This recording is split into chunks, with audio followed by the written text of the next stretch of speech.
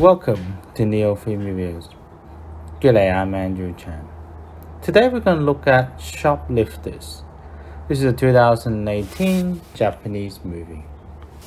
Director Hirokazu Koreeda continues his trend of portraying dysfunctional families with shoplifters. One of the most beautiful aspects of this film is how the story is told without manipulation of emotions but simply presenting the events as it unfolds in a slow yet dedicated pace. We see a family of sorts being on display, struggling to live in the commercial driven Tokyo, as different family members resort to stealing in their own ways. As we progress in the movie, we notice how these low life in society are actually good people and probably better than those on the surface live a higher social class. This is one of Koreeda's best work, as everything simply happens as we see it and experience the lasting effect. Lily Franky headlines this picture with a rough image of a supposed father of the family his intentions and expressions are naturally portrayed with priceless range. The blank stare, the comic interaction with his son and kidnapped daughter, and the, of course, the love share with his wife, played so involvingly by Sakura Ando.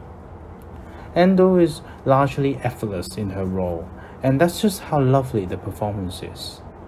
The late and much missed Kirin Kiki does well as the strange yet lovely grandmother. The scene-stealing role comes in the form of Mayu Matsuoka as Ando's younger sister and part-time fulfillment of sexual fantasy. Jyo Kairi and Miyu Sasaki both shines in their role as children of the family. All in all, Shoplifters shows a different side of the often glorified Japan, the real stricken poverty and those living in tatters. Like the Oscar-winning Parasite, this is the kind of film that takes you on a journey of despair, survival, and hopelessness. But within it, we see the bright side of closeness, love, and care from those we least expect. Director Koreeda have once again made a film for the ages, and Shoplifters is one of that lingers on the mind after its duration.